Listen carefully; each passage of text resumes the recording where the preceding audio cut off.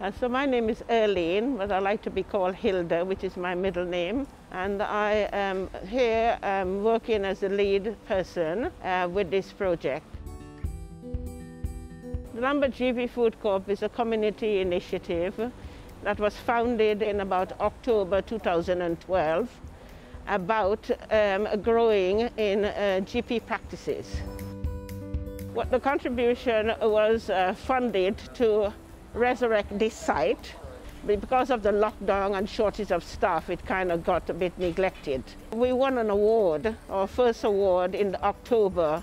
We won um, the best sustainable garden in the community. One of the aim was to grow food to eat that everybody knows how to look after because this garden is not about me, it's about the people who come here.